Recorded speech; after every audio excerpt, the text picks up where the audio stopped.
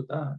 Yeah, I mean, I've I've not obviously finished it because it's huge, but I'm kind of going through and reading the trivia and going through the bits about the episodes. And, um, I haven't quite got to my favourite episode yet, which is the the cat and spider. I think that's what it's Oh called. yeah, for yeah, season two. 66, yeah. Yeah, um, absolutely love that one That's, that's how my brain works. You, you say your favorite episode, and I immediately go for the production code. I was like, oh, episode, you know, MU sixty six. That's why, because I wow, I know the like if if, if you said what's the production code code for like thirty two, I go search the BHO. Thirty three Star Child, forty two, Double Edged Sword, two Shaping Staff, eleven Master Mm. Power. It's like my brain knows all those production codes because I've spent so many years breaking them down. my brother's been lying to me for years, so you can correct him and, tell me whether or not this is true. But he Oh. said there is an episode that shows Adam getting the sword and becoming He-Man for the very, very first time, as in like he goes into Castle Grayskull. There's a bit where they're in the desert with uh, Skeletor, and he's convinced this is an episode. And I went, I'm I think- sure it's But, not. but based on what you're saying, that sounds like um, the 2002 series. yeah, yeah, yeah. Yeah, because they, they didn't have an He's- information. There's not. There's not even a. There's not even a script or a premise. They never actually were going to do the origin of He-Man. Yeah. Even even at the. You know, I've got all the behind the scenes material Mm. for all the episodes that didn't get made. There was never any premises. Even they didn't even bother coming close to. Let's tell do. Or He-Man's origin. It just Yeah. it just never came to pass. Yeah, he's he's convinced. He's absolutely convinced. I, I'm quite happy to tell him that was never a thing in filmation. It never existed. Stop winding me up.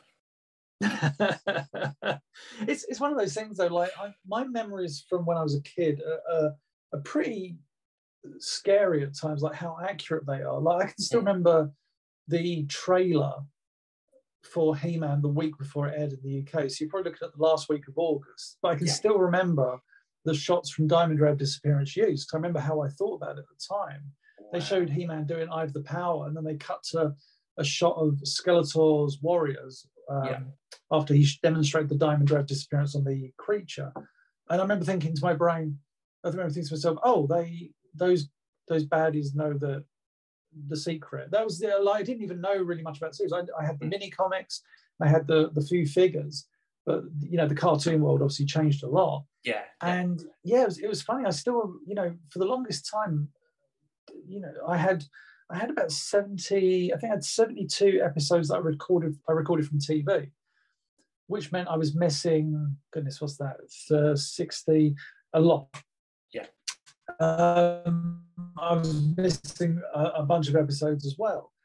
So when I when I when I came on the internet in like late 95, there was like the infancy of the He-Man community. And one of the first things I did was, does anyone remember these episodes? And it was all these memories that even to this day I still got like I wouldn't know the episodes, the titles. I would just have to like I would have to describe a, a scene. So, I was like, um, so I'd write stuff like, "Oh, yellow robot attacks um, the royal palace," and that turned out to be Yeah. Return of Evil, or Mm. Fisto and Spike, or in in a competition that was um, the games. There was all these uh, ways, like moments I remembered. I remember the Mm. end of House. I remember the end of House of Shokoti Part One for years without knowing what the episode was. And then when I started going into, um, there was a magazine shop in Soho, and they sold TV listings magazines. Yeah. Randomly went in there one day with my dad, and I was going for these TV listings, and I was determined to try and find when He-Man first aired. Yeah. And I was going through, and I was like, oh my goodness, September the fifth, nineteen eighty-three. So anytime you hear, you know, people online talking about He-Man first appeared in September, that that was me in a magazine shop in 1993, sourcing this epi- uh, magazine of the uh, the TV Times, Yeah. getting the listing and going, oh, my Oh. goodness, this is when He-Man first aired. And then Yeah. I think it was the early noughties. Um, Mm. An American guy who had a TV listing magazine said, I think He-Man aired later. And I was like, no, no way would it have aired later. It was like, oh my God, He-Man aired about two and a half weeks after it did in the UK. I was like, that's Yeah. so bizarre. So there was this piecing together that timeline, but tho- those memories initially, like I say, the House of Shokoti, the end of part one just burned, seared in my mind. And I saw the episode title in a magazine in this one of these TV lists. I was like, episode House of Shokoti part one, that's got to be the episode I remember seeing as a kid. And then, Yeah. you know, the internet comes along and I still got it to this. I remember saying to, started talking to a few people.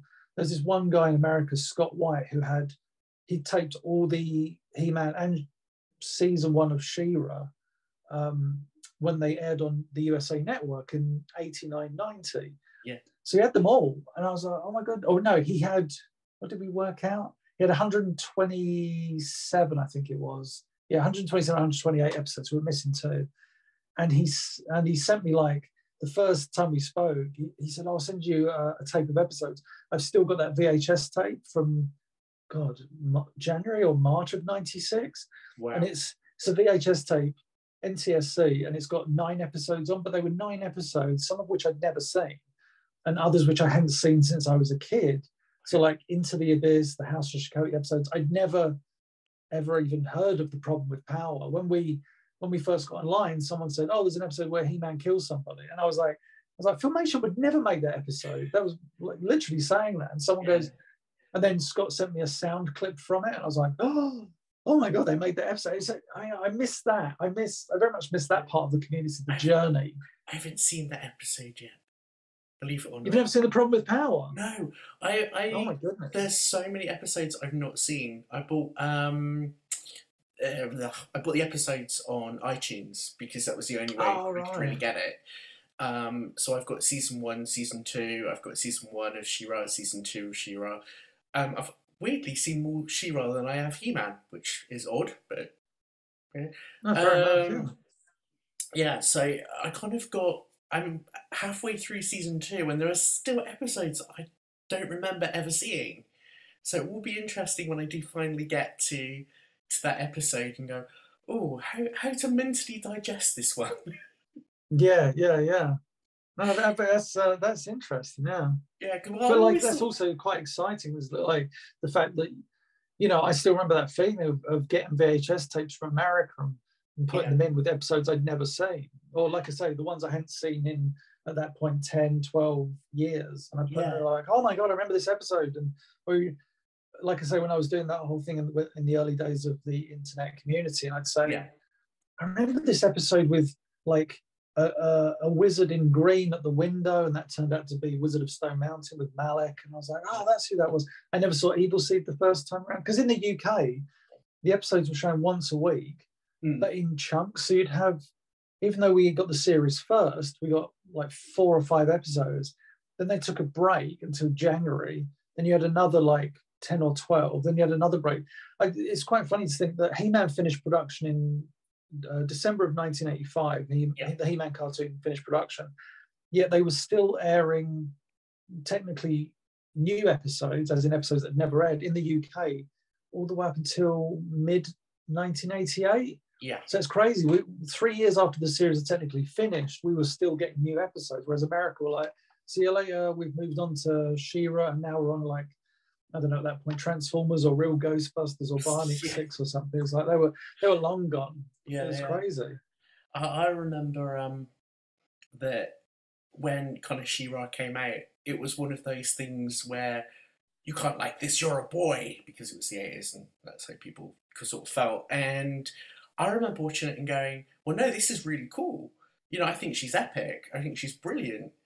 Um, and I kind of went, it's it's cool when you get to see both of them on screen together at the same time. Oh yeah, yeah. You know, when I mean, you was... get that crossover, I was like, oh, this is this yeah, is the crossovers were. I mean, the crossovers were probably designed for people like me. When I remember, I still remember the first time I ever, again, the first, it's so weird how it's just burnt in my brain. The first time I ever saw a clip of She-Ra was Children's ITV over here was showing like all these, you know, coming up in the summer yeah. or in, in September and they showed a clip from She-Ra, but the clip they showed was Adora at Castle Grayskull, you know, slowly mm. transforming. Yeah, yeah. And i will never forget my memory was they've made He-Man a girl. That was literally the first thing I thought was, oh, they've made He-Man a girl. I wasn't, I wasn't like outraged. I was just like, they've made He-Man a girl, mm. and we didn't get the first five episodes. So the first episode showing was Duel at Devlin, and it was yeah. just like, oh, we're, we're straight into the series. Because I, I, didn't see I, um, those first five episodes either. I actually saw The Secret of the Sword. Yeah, likewise. Um, and I, again, I watched that in retrospect. So yeah, I yeah. think it probably was the Duel at Devlin was probably the first one that I saw. Yeah, well, the funny thing, I like like you, I, I didn't. The first time I was even aware that the the the the movie was the first five episodes comp- edited into a movie Mm. was I think like 1997. There was a guy called Owen Sharp, and he'd done this meticulous list of episodes, and he had this like into Ethereum. I was like, "What are those episodes?" He's like, "Those are the first five. I was like, "What?" So yeah, the first five, and he sent me like the original introduction sequence and a few of the deleted scenes. I was like, "Oh my god, this this was a thing. I didn't even know this existed because I'd grown up with Secret of the Sword and just Yeah. thinking they made a movie." Well, that's what I thought until Yeah, I kind of whereas- bought it on um, Yeah, iTunes and went, VHS. where, where'd these episodes come from? What's this Yeah, about? it's- it's- it- yeah. it's so bizarre and like yeah like Duel at Devlin I remember watching it I remember kind of enjoying She-Ra but at the same time I think also at that point in the 80s there were so many other cartoons like He-Man had come or it was Mm. still was still on TV I should say when She-Ra Yeah. was on He-Man was on but then you had like some of my favorite ones were obviously Transformers and Mm. Mask and Real Ghostbusters those were probably the next three that so She-Ra didn't really get through them they were like oh I love like Transformers and Mask, and I, I really didn't like the She-Ra toys. I bought She-Ra. Yeah. Like, I, did I buy? No, I, I, the She-Ra was the only doll I bought as a kid, and I, I had a few episodes on VHS, Yeah. but then I kind of checked out of She-Ra, and then you know, like I say, for years I had 72, 72 episodes of He-Man on VHS, but I had probably about ten episodes of She-Ra out of ninety three Yeah. um, I just didn't care for it. And then when the internet came along and you know you start speaking to people and you hear about episodes, it's like, oh, might might give this She-Ra show a chance. Then you know, grew to Yeah, I fell in love with it. It was like, oh my goodness, it's such a an awesome series in its own right. Um, Yeah, I but mean- yeah, it's, it's Yeah, go on. I- I- for, for me, it was one of those things like growing up, you didn't admit as as a boy to, to liking it. It was a girls' show, it was for girls. So the thing was, you get teased. So if you say, Oh, I watch He Man, and they, they were like, oh, Okay, well, do you watch She Ra? And you're like, No. And then they'd disappear, and then their sister would come over and she would say something like, Oh, did you see this week's episode had He Man in it? Like, okay, then I'm watching it yeah, yeah, you know, yeah, and yeah. That's kind of what happens. It became this thing of like, did you did you did you see it? I'm like, yes, Sarah. I saw it." You know, No, I, do, I do remember like I remember being in in uh, junior school and when He met Ed, uh, Mm. when She-Ra came out, it would have been probably yeah, it was like ten. I how old was I when She-Ra aired on TV? trying to work, and when She-Ra aired in the UK, it would have been eighty five, I guess. I think yeah. 80, 85 So it'd have been or like- 86. I was, Yeah, in, I I was was, only little. Yeah, I, am trying to remember. I'm sure. Yeah, it would have aired in 1985 in the UK, so I would have been yeah, because it aired before America. so Yes, yeah, yeah. I was 85. So I was just turned eight years old. And yeah, it was um it, like you say, it was that kind of weird thing of being at junior school, being at school, not not admitting you you kind of even watched She-Ra. Yeah, Um, and there was also like even back then there was that yeah, I remember there was some it sounds weird to talk about as, as Mm. about eight year olds, but I remember there was like slight cynicism at cartoons at that point Mm. not as in like cartoons rubbish, it's just like, oh no, we're into, you know, this was 1985, 86, I guess, at this point. Yeah. And kids are more interested in like Salt-N-Pepa in the music Yeah. charts yeah, and stuff yeah, like yeah. that. Don't get wrong, but badass group. But it was Mm. stuff like that. And it was just, you, you felt, you know, there was there was a few of us. I remember like Real Ghostbusters was, was an exception. Everybody, boys and girls, really seemed to dig that at school. Every I think it was maybe because it had the movie tie-in. Yeah. But when Real Ghostbusters came out, everybody at school was talking about that. And it, there was like a lot of love for that. And you you were you were allowed to buy the comics and the things, but She-Ra was seen as a bit too flowery. Even though if you watch the show, it's like, oh no, they're an oppressed group of people fighting against a dictatorship. Yeah, Yes. it's a real girly cartoon. know. so it's hilarious. But um, I mean, yeah, that's, no, that's the thing. is They, they talk about if you um you know talk to your, your peers about it at you know now versus then, they would talk about it then as if it's kind of like oh yeah you know it's girl He Man and she has a tea party. It's like no, it's Yeah. not. I mean, to be honest, like from what I've seen on the internet, you'd get some probably, you know, journalistic experts who would also say, Yeah. "Oh yeah, she was just this and that," and it's like you've never even watched an episode, have you? It's like when you sometimes, you know, reading. Uh, I've, I've read. Uh, well, actually, tell a lie. I remember watching um, there was a, a show on Channel Four back in about 2002 or three over here in the UK, Yeah, yeah. and they did they did like 100 greatest kids shows of the 80s or something like that. yeah, or I, I, I greatest kids I shows. saw it. I mean, there- there's been so many of those. There've been American ones, British ones, and but this this one was yeah, and they had He Man around about number ten, and it wasn't it wasn't like it was a weird assassination piece because there was one guy who was like a genuine journalist, and he was like. He goes, frankly, I think He Man was one of the scariest things to happen to America in the 1980s. He said it was all about you know, strength and power. And here is our sword. Here is our power. Let's attack other countries. It was like, what? Like, how are you getting that? You've, and this is the thing, and I see it time and time again online where people, you know, here's a bunch of things about him. I stopped reading articles, to be honest, many years ago about He-Man Shift. It's like, what, like, this could sound so arrogant, but it's like, what are you going to tell me about this Mm. show that I know in depth? And this is the thing, and they're going to say, like, I don't mind if, you, if you've got an opinion about it, but don't come at me saying, oh, there was this scene which is clearly this, and it's like it's clearly not. You're, you're, yeah. you're, yeah, yeah. and it's, but it's, and it's happening all the time. I think that's kind of like, yeah, I'm just people send me articles and like, have you seen this? I'm like, yep. the, the um, you see, like, I, the thing I hope takes over the internet, though, which I'm hopefully seeing more and more of, what I'm starting to see more and more of, is Yeah. more creativity and not simple exploitation. And By that I mean that um, that Star Trek filmation, Yes. uh, the new next generation. Yeah. They've just done a DS9 as is it DS? No, No, Voyager. Voyager. Yeah, Voyager. yeah, yeah, yeah. Those are awesome because that's that's creativity. I think at a really high standard where you've got Yes. these these people and said, what would filmation? What, would those, those shows look like the filmation thing? And it's not poking fun. It's actually ad- adhering to exactly what it would have looked like in the seventies. And Yeah, it's perfect in that way. Is there's a few things that I would be like, oh, that's not really an intent, but at the same time, I think it's near perfect. And I mm. want I, I love seeing that because that takes effort. yes. Whereas, you know, like I say, articles about He-Man and She-Ra, you know, were they secretly lovers? It's like, no. no. But there's this one there's this one image where they're hugging, they're clearly, it's like, oh, of course, you've never hugged a family member. Clearly you've never hugged a family member before. and it's just it's bizarre. It's and uh, it's just that kind of yeah. It's it's that's I think that's you know as I'm sure we'll Yeah, talk yeah. about. That's why I'm kind Well, of heading towards this YouTube channel thing. Because I'm like I'm sick and tired of seeing you know videos by people going here's this and I'm like well, I'm just going to start making videos with actual you know facts in. yeah, yeah. I mean, with with that in mind, there were two things that um, you know, you you've made me think of. Obviously, with the the Star Trek Voyager and the um, Star Trek Next Generation um, video that was the animation that was done, I think it's just spot on.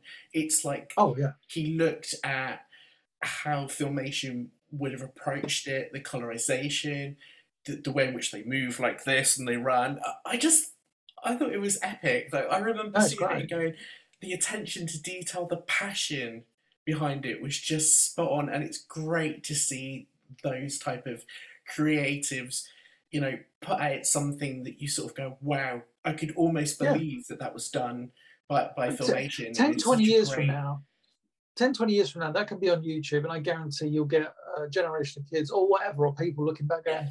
"Oh, did filmation do?" You know, I honestly think because it's that convincing. And Yeah. that's what that's as, as a creator, that's what you want. You want people to look at what you've done and go, "Oh, wait, was that?" And it's like, "No, no, I made that." It's like, "Oh, wow," you know. So yeah. that I mean, and those things are just so good. Whereas I've seen other filmation homages before, and they're just atrocious because they don't get it. Yeah. Whereas this, these creators that made this got this. They understood the the approach, and if you're gonna if you're gonna pay homage to filmation that style, then you've got to embrace it. Yes. You don't go, oh, and then I've, I remember there was a sh- oh, there was a show and they did like a filmation homage on sort of Disney or something, Hmm. and it was just such a it was there were there were a couple of things where it's like that's true, but there are others where like an arm or head would be missing in for a frame or two. And it's like Hmm. that didn't happen in the filmation show No. they did things called retakes in animation. You're more likely, and this is no disrespect to those shows, it's, you're more likely to get that from so, uh, American shows that outsourced to Japan because they had very tight deadlines. They were going back and forth. That's why, like, you look at a show like as much as I love it, Transformers, but Yes. that that first season is full of mistakes because Mm. they were shipping out to Japan to Toei Doga, and then Toei Doga were going, well, we, we're going to outsource ourselves. So you get Yeah, all these different studios, all this different talent working on a show, and then what would arrive was scenes where Optimus Prime would look one way in one shot, and then the second shot he looks completely different. Yeah, Whereas yeah, yeah. Filmation, Filmation couldn't afford to do that. Literally, they they they were so precision based in their animation structure um, that you. I I always say that's the one thing I love about Filmation. You know, you get some people harp on it like, oh, they were cheap. It's like, ironically, that that studio Filmation in the 1980s spent more on a single episode of animation than any other studio in the Yeah. 80s yeah, because yeah, it was more expensive to do in America. I, Whereas I had in Japan, sorry, I was gonna say I had an argument um with a lecturer about this because they said, "Oh, filmation were cheap because they reused animation, blah blah blah blah blah," and I went, "Every every animation studio did that." Sorry, that was Alex messaging me. We'll see what he says in a minute. Um, yeah, every animation studio did that. I said, you look at Hanna Barbera, for example. Scooby Doo runs, and the building just goes like this oh yeah, yeah. over and over again. And I went, but they used a, a technique with filmation. You can correct me if I'm wrong, uh, if I mispronounce this, or if I get the te- technical term incorrect. Rotoscope, right, which is Yeah. where they would get an actor to physically do movement, and then they would sort of trace it. Is that right? Yeah, basically. So, but prior to the series, they spent a good couple of months where they had like live actors. They had, the Filmation had a warehouse where they would do a lot of their live action shooting just outside of, I think it was Canoga Park in Los Angeles. So, Filmation's building was here, and well, they had two buildings in in on Sherman Way, and then in Canoga, I think it was Canoga Park. They had like a warehouse. That's where they do the, a lot of their live action stuff, like Jason of Star Command, all those 1970s live action shows that Filmation did but they had that building, so they then started using it for rotoscope for animation. So they had the three actors, the bartender, and then two people that we don't know to this day who they were. Was it a Dress up in bartender? Oh yeah, was, he was the local bartender. He was like a huge dude. And, wow. um, Yeah, and he was like he was. So you had filmation. The bars, the bar was there up until about God, I want to say about 10, 12 years ago. It was there for a lot. Well, it was there for decades. wow. But the bar was opposite, right where Filmation's original building was, where they produced He-Man. So it's just up, opposite across the street. Yeah. They hired him, he was a big dude, and they had yeah these three actors, and th- that was the rotoscope. They would have like they would position the camera, have the actor do this, have the actor do that, throw, struggle cycle. But then uh, we only found this out about a few months, a few months back, earlier this year, maybe late last year, that the actor that did the rotoscoping for He-Man also doubled up for Beast-Man. So what he would do for the he for the He-Man is do all his the walk cycle and this, and then for Beast-Man he would hunch over. So when you get that animation of Beastman kind of you know kind of uh, hunched over walking into shot, it's like oh wow. I mean yes that's rotoscoped, but most of the other rotoscope like King Randor walking into shot or Man Arms is all based on that He-Man stock. So they Filmation spent I dread to think how much, but like creating a stock library, much of which, not much of which, I'd say a percentage of which, probably a, a- an astounding percentage of which was never used. There's this, there was this rotoscope battle with Teela and Prince Adam using bow staffs that I've got a few cels from. They're, they're fighting with bow staffs, that was never used. There was different sequences of He-Man and Man at Arms, and Skeletor and Teela, all these different animations are just never used. But they created this stock library and then pulled from it to create this is the thing that's what I was saying a bit before. The, the thing that you always got with filmation is that when you turned on the TV Yeah. and He-Man came on, or She-Ra, or any filmation show, Mm. you knew what you were going to get. And what I mean by that is you would watch the intro and there would be no stylistic change. Mm. Whereas some of my favorite shows like Mask or The Real Ghostbusters or Thundercats or Ninja Turtles, you would see that intro and be like, oh my God, that's gorgeous. And then the episode would follow and you're like, where was this animated? You know, it's and it's that's that's the problem, and that's like something I, want to eventually cover on the channel on the eventually YouTube channel because it's it's scary that people just seem to forget that. Like Thundercats had Yeah. probably the best animated intro of the 80s, Oh. closely followed closely followed by Ninja Turtles, I think. They- they were both yeah, gorgeous looking intros. But nine times, no, not nine times out of ten, that's a high number, but half the time the episode would follow that intro was subpar. Yeah. So you would you would you'd be drawn in and think like, yes, and especially with Thundercats, and then you'd go, oh, Thundercats is quite a slow moving show. Yeah. Whereas with He Man, you'd watch the intro, and then you see the episode, and it's like, yeah, It's this is what we got. And Yeah. if anything, with with with with filmation is you were guaranteed sometimes that the episodes were going to be better because you'd have directors like Tom Tataranowicz or Tom Sito or Mark mm. Glamack would come on and they were like, let's direct this episode and get animators like Sherry Wheeler or Tom Sito or whoever to create some sequences to really kind of punch up this episode. And you see that a lot with um, She-Ra and especially She-Ra's second season. Yeah. He-Man second season a bit, but She-Ra's, She-Ra's second season, they really started kind of going, yeah, yeah. maybe with that point they were like, we've got 20, 28 episodes left. Let's go, let's go out on a, on a bang. So yeah, it's um I've, I've I will happily not not defend, but just state factually that Filmation were not the cheapest studio in the 80s, far from it. Yeah, yeah. Yes, And- and- yes, you can criticize them for the stock system, but then Yeah. by that you have to criticize every studio. Not not because they all have stock systems, but because they all found ways of cutting costs. Mm. America, um, Marvel Productions would send their work to Japan, Mm. and it would come back looking a variety of different ways. Sometimes awesome, sometimes like whoa. But it's it's weird that people go like, you know, oh th- that was better than Filmation. It's like based on what? Like, and then Mm. tell tell me that the ep- the next episode is as good as the one you just mentioned compared to Filmation, and it's yeah. I mean, I, I've studied and researched and written about animation for yeah decades, and it's just like you can't.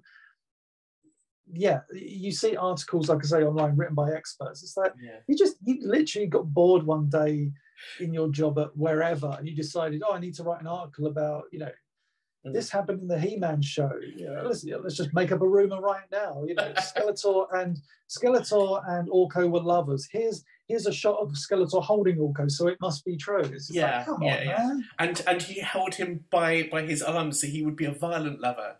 You know, Yeah, exactly. Yeah, there was no mercy shown to poor Orko. No, Um, thank God he had the mask on. Well, it's funny that you, you say about like the, the animation and how accurate it was because I remember back in the day looking at filmation and it was just accurate. You know, you didn't get much, you know, incorrect thing where they had hold of one thing and then it disappeared. Like, it did happen, obviously, because it happens in all animation. Everyone makes mistakes, but the biggest for me um, offender of making mistakes was the Ninja Turtles cartoon. Because I mean, I, it's amazing that you you said that. So I did, in preparation for this YouTube channel, I've been creating episode commentaries because they're the Yeah. easiest thing to create first time. Like you know, I thought I'll do, I'll do a bunch of episode commentaries, so I've got them ready, like Yeah. ready to upload, and then once they're done, I can start doing all the videos, like the articles, the video essays and stuff. Mm. But one I did, I completed was it yesterday or the day before was my episode commentary for the first episode that aired of Ninja Tur- Hero Turtles in the UK, Yeah. which was Return of the Shredder. And in Oh, that in that commentary, I talk at length about, especially that episode more than most, being an offender for how many times the turtles' headbands change color, how many times, and it's, I mean, in Return of Shredder, it's ridiculous. You get you get shots of like Leonardo talking, it's Raphael's headband. You get one shot where all four turtles cross the Channel Six News building, Yeah. and when they get to the final shot, there's two Leonardos. It's like, but then the thing I, I made, uh, the point I, I made in this commentary is, I don't understand what how those mistakes made it through because, in when as as a director in America, or as a in charge of production in America, you would either fly over to Japan and oversee production, or Mm. you would get the animation sent to well, you'd always get the animation sent to you, of course. When the animation was sent to you, you'd animate it and then go, oh, "This is wrong. Can you can you do a retake of this scene?" Yeah. So retakes are commonplace in animation. Why they weren't done for a lot of those early Ninja Turtles episodes is really baffling. I, I think part of it might have been to do with um, Playmate's original agreement.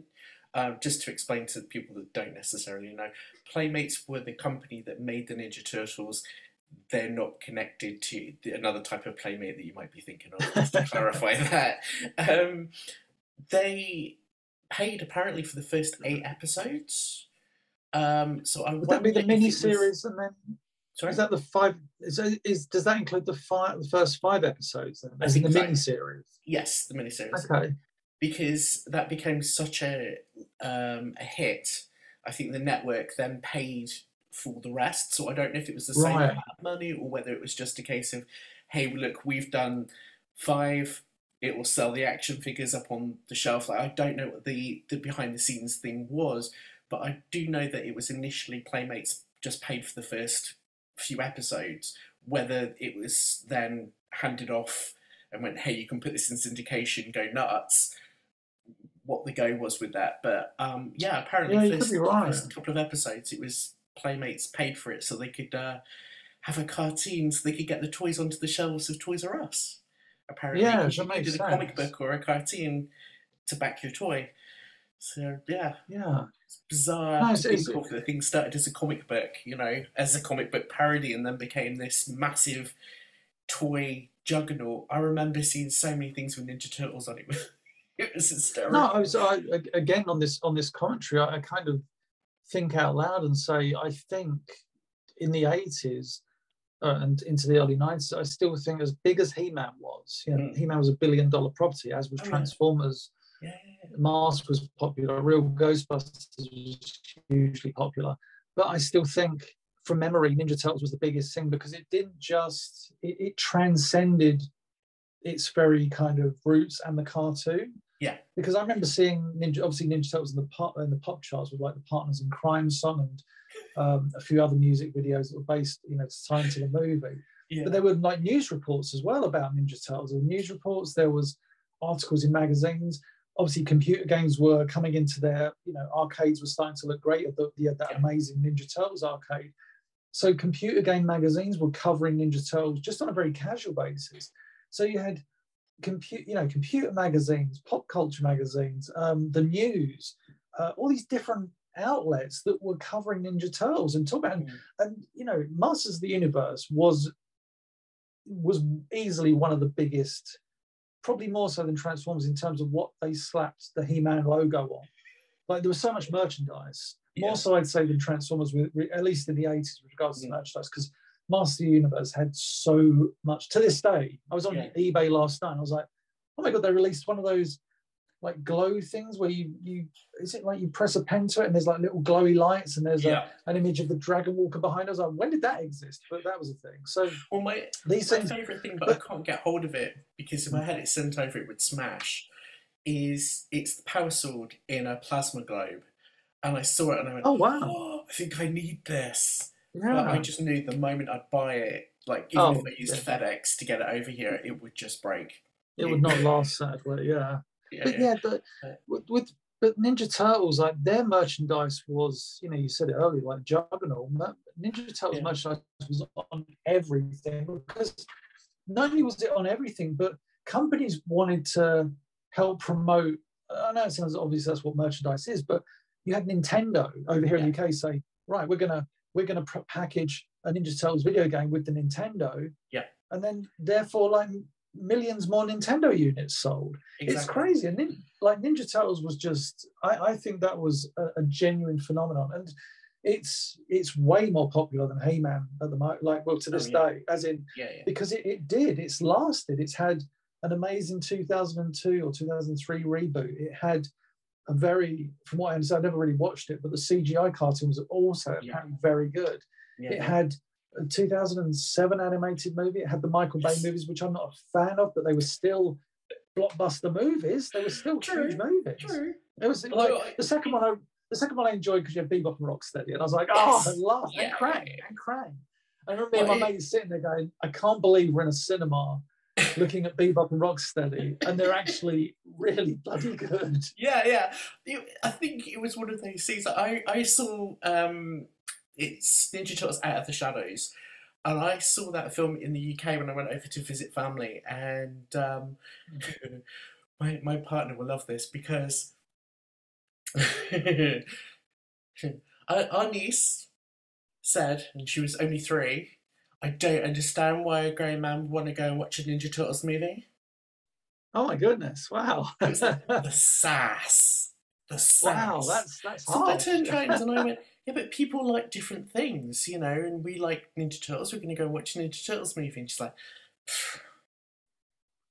and I'm like, yeah, but you like you like Barbie the Nutcracker. And she went, yeah, but Barbie's amazing.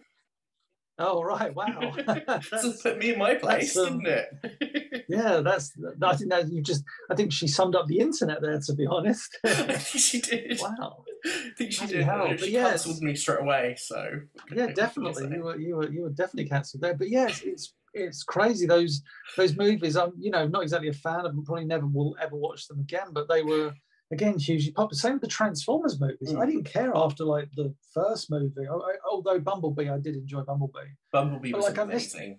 Yeah, was was because because it was the Transformers movie we'd all been waiting for. It's like, and not because they looked like the original Transformers. It was just, oh, you're telling a Transformers story Yeah, with with good human interaction that doesn't feel like you're being force fed human interaction. It was it was Yeah. a really good, really it was a nice I thought love letter to the original. Um, yes. But yeah, tho- those when you think about those movies, yeah, they may not be our cup of tea, but they've been hugely successful. And all we've been hearing about, and I, I just get bored of it now, live action He Man every other month, or at least once a year since 2005. That's not a joke. Like John Woo was the first director attached. I think it's like um once sorry, itchy leg.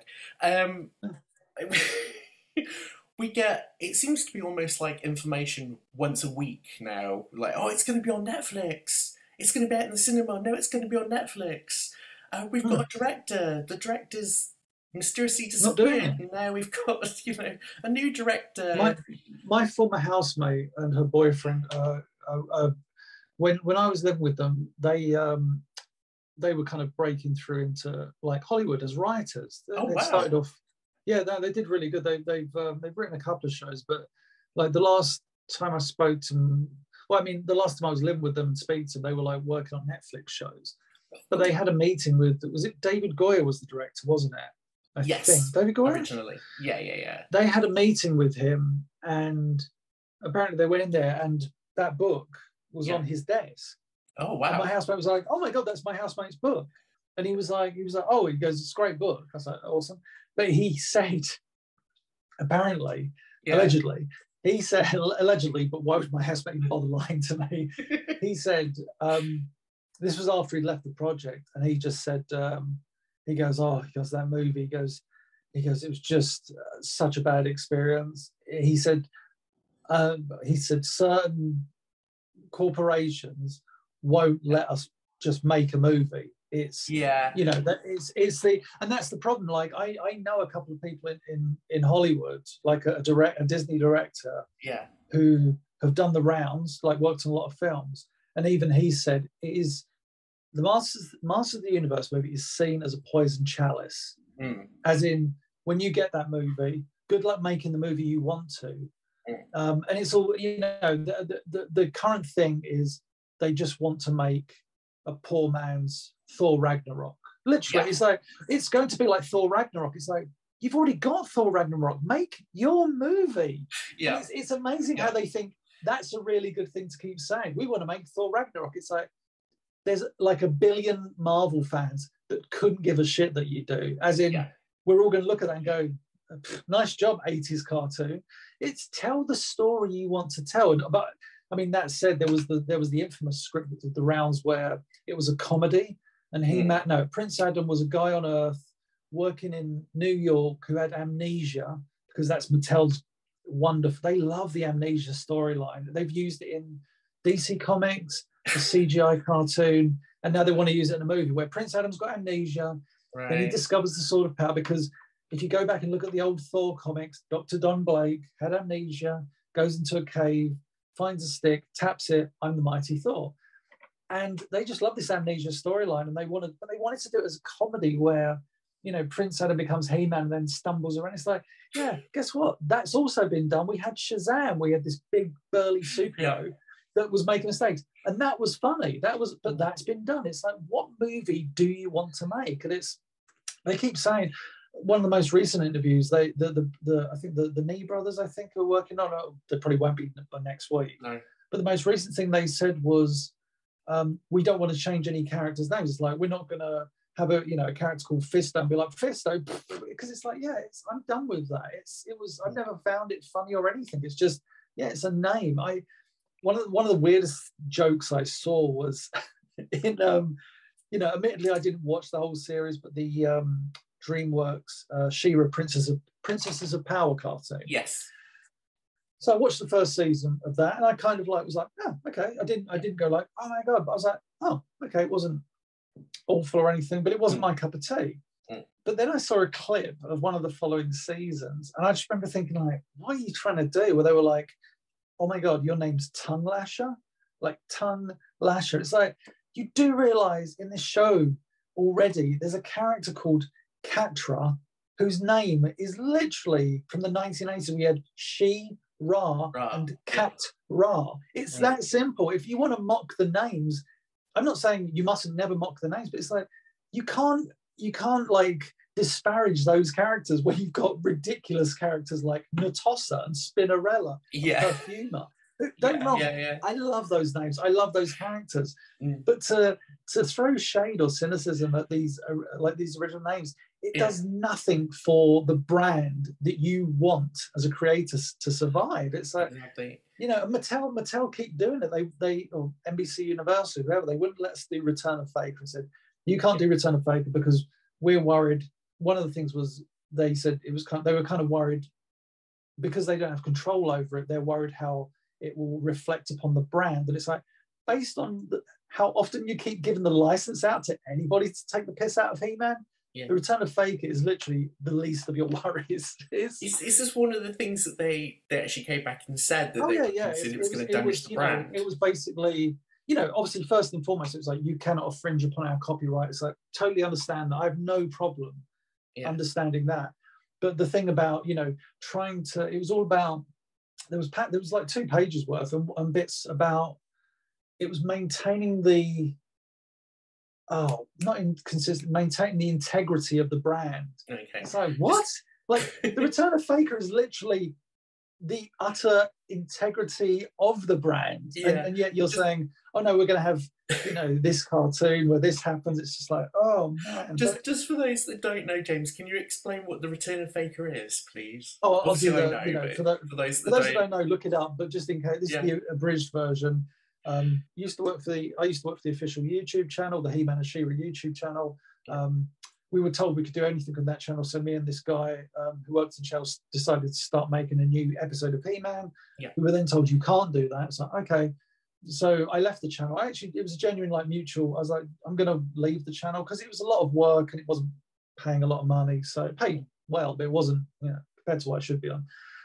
Walked away from that channel, and then I said to the guy, "Should we just keep making this episode?" So we spent three and a half years making this new episode of He-Man based on, you know, the original animations, but we brought we brought the character of Faker in based on the action figure, or at least the the cross sell illustration version of the character. We have the magenta arm and the orange hair. Brought in Faker, so it's finally we've got the proper Faker in the Filmation cartoon. Yeah. And because my brain works like this crazy archive of He-Man episodes, I basically made the episode a new episode because the first thing that I had to make was the episode based on dialogue.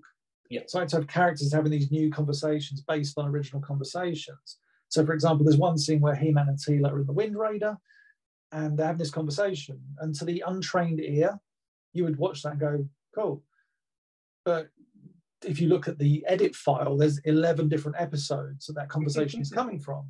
Yeah. So He-Man and Teela are having this conversation, but it's from 11 different episodes. But because I know the series so well, I can go, how does she react to that? Oh, I know, uh, uh, Trouble in Arcadia, or oh, uh, Yeah.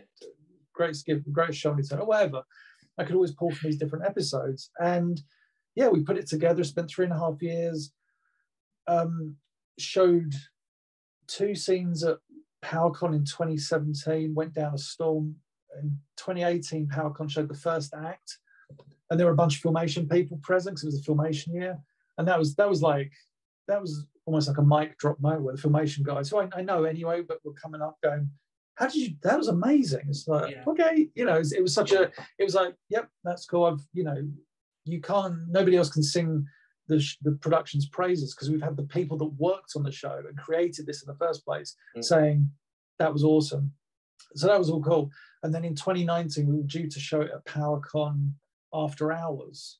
So yeah, and then a month before NBC Universal suddenly, even though they were well aware of this project, they suddenly said, "You um, you can't you can't show this." And I was like, "We're yeah. showing it for free." Like the plan was show it for free and then just upload it to YouTube for free and people can watch it.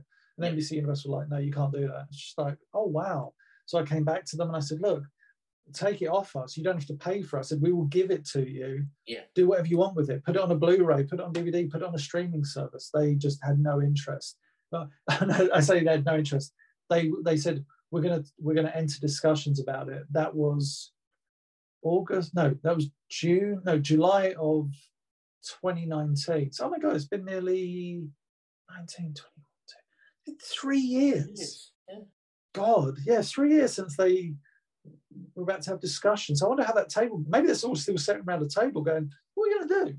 So, yeah, that. Um, they won't be sitting around the, the table going, why hasn't James called us? We've been waiting for yeah, hours. Yeah, yeah. no, I, I, it's so funny. Like, I could talk about the whole corporate mentality of Masters Universe. It's, it's kind of scary. Mm. Um, but yeah, it's, people think these companies that own Masters of the Universe have all this. Oh, they have an archive. They know everything. It's like they really don't. They really don't. That's no. That is no disrespect to the company because like they're the like Mattel created He-Man. It was a toy line mm. that they made. That they they made not because they wanted kids to have fun, but they wanted to make billions of dollars, which they did. And I will always say to Mattel, awesome work. Mm. But then to come back and go, but we're still the only people that know about Masters of the Universe is like you do realize everything you currently know about Master Universe, you've mm. got from the fan base. Yeah. Whether that be fans like myself, Emiliano, Val, whoever, mm. or just the fans in general through conversation. Because Mattel do look at Facebook groups and they they watch all these conversations taking place. Um, and sometimes that's for the good of the brand, sometimes that's for the, the detriment. But it's so funny that so many people think like, you know, NBC Universal, the current uh, owners of the cartoon license, oh, they have an archive of the mark. They don't. They don't have like that. they don't. They they don't even know what they have. That's the scary thing. Um, oh, but there there are certain things happening right now, mm. which may lead to a brighter future in terms of the archiving of Filmation's He-Man and She-Ra. So that's that's like one thing I'm really praying will work out. It's early days, but it's like okay, this, this may be something good. But you like yeah, so Return of Faker. I, I, can't really like. okay. I'm, I'm things here and there, but yeah, it's um, it's it's one of those things where uh, maybe maybe in a, I don't know in a month or so I might be able to, but it's it's it bodes it bodes well I think um, for the future. But at least in terms of, I, there was a time when I was worried that the current masters that NBC Universal use for streaming services like Netflix or iTunes or whatever, or that they keep putting on DVD. Those masters, those episodes are really like as, as, a, as a fan, you can watch them and enjoy them. Don't get me wrong, but yeah. if you know certain things about the series, like yeah, that's you've, you've, you've used the wrong thing there, or the line art is jagged, or hmm. infamously, mm. you know, in the '90s, that decision was made to hey, let's let's make all the episodes play at PAL speed. It's like they're not supposed to play at PAL speed; they're supposed to play at NTSC speed. So for the longest time, I thought like, oh, the the filmation series, He Man and She-Ra doomed mm. to fall apart into disrepair and be, you know, we, each licensee that comes in wants to create their own masters, and what they do is they just, believe it or not, even in the age of digital technology, you just de devalue the content or, or you know, make it worse. And mm. yeah, the, the, the the last time I saw the NBC's digital Masters or Universal's digital masters, they were at the time, I was like, oh god, these are really bad. Mm. Um, but yeah, like I say, things are things are hopefully happening that um, yeah will will hopefully transform that. So everybody gets to look at quality visuals for He-Man She-Ra episodes. It's, it's, it's early days, but yeah, and yeah, so that was a long-winded way of saying the Return of Faker was a fan project that took three and a half years and then was kind of shelved. But then Rob McCallum, who made the who you know made the um, Power of Grayskull documentary on yes. which was on Netflix for the longest time, with a few other people. He approached me and said, "I think we can make a documentary of this whole Return of Faker saga." I was like, "Really?" And then we did the mm. Kickstarter at the start of last year, and amazingly Had all this support and got close to. I think it a was like, supporter. I am oh, nice. Thank you. Thank am you so much. Yeah, I mean, yeah, that's that's awesome. It got to. I think it was something crazy like. I think it got somewhere in the region of a hundred and something thousand dollars. It was just Yeah, like, it was what? That, yeah, it was, it was amazing. It was such a you know a thing because we thought, like Rob said, oh, I kind of need to raise thirty thousand at least to get like a, uh, you know a passable documentary with like maybe Zoom interviews and stuff. And I was like, ah, not in person. He's like, no, not really. I was like, damn. So we put thirty thousand as the initial target. I thought we may get that by about day ten. We got it in day one. I was Mm, like, oh god, what? It was it was crazy how the, the support. And it just it just escalated. mm. And I was like, wow, people really want to see this. And I think yeah, hopefully, hopefully one day, oh, not hopefully one day, um, early next year, the documentary will be completed or released, and hopefully alongside that, everybody gets to see the return of Faker. So yeah, fingers crossed that all works out. Yeah. But yeah, that that'd be pretty uh, pretty epic. Yeah. Yeah, yeah. Um, for myself, one of the reasons I, I backed it, I saw the trailer um, that you guys had put together to originally say, oh, you know, coming in 2016 or whatever. And I, Oh, I God, saw yeah. that and I was blown away. And then I saw a few um, snippets that were kind of posted around, you know, um, same as productions. So I Yeah, saw Same As little bits and pieces. And I remember just seeing that whole conversation with um, maybe I will win, you know, and I oh, saw Oh yeah, that and I went, oh wow, that this looks so good. Like the the real attention to detail, like the backgrounds look like filmation backgrounds, you know, the animation looks, you know, spot on. I was just blown away by it. And for me personally, I went, there is no other love letter to an entire fandom than a fan making something with real passion and putting it out there for people to enjoy. You know, I, Yeah, I don't like, think when- you can really ask for anything more than that. No, thank you for the kind words. Like, yeah, when when when I when we were close to finishing it and people would ask me what it is, I would just say, "Oh, it's my love letter to filmation," because it really Yeah. was. It was. It was. It was my. You know, the, the first credit on those end credits says dedicated to Lou Scheimer because I I Oh. met the man. I met the man numerous times. He was such an awesome dude. Went to his house for goodness sake. Um, just yeah, an incredible human being. I was just, and I can't remember. Was it? I forget who it was. Was that said like, oh, Lou would have been so proud. It was a filmation person said, oh, Lou would have been so proud of this. I was like, oh, I was like, I know, I know, it's terrible. I don't, mean this arrogantly. It was like, oh, he totally would have. He would have loved Yeah. it because he always used to call me British guy. He'd have been like British guy. That's so good. Yeah, he was, he was awesome because, like, you know, he he has to know like a billion people's names and at, at conventions.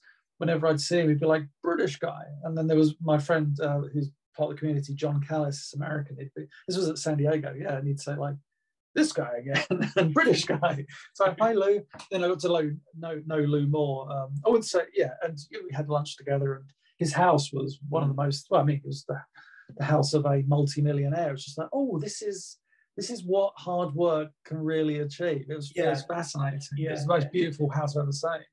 Um, not as good as your view there, but yes, really, Well, really lovely. you know, this is this is my garden. So you know, what more yeah, can I ask you've for? done a you you've done a fantastic job. Joking really good. aside, I will send you the actual picture of what it looks like in here and what my actual garden looks like. My garden is impressive, do. but it doesn't look anything like this. You know, Oh, there are some palm trees, sure, they're my neighbour's palm trees, but you know, still, it- it's, it's quite yeah. nice. I've got a lemon tree, believe oh, it or not, which is quite nice. Yeah, you don't, you don't usually boast, get fruit